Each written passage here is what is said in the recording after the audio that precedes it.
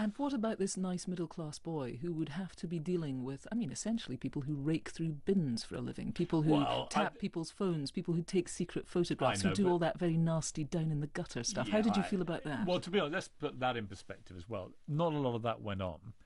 A lot of it was Really? done. No, a lot of it was done by third parties rather than the, the staff themselves. Hmm. That's not to defend it because obviously you were you were running the results of their of their work. I am quite happy to be parked in the corner of tabloid beast and to have to sit here defending all these things I used to get up to. And I make no pretense about the stuff we used to do.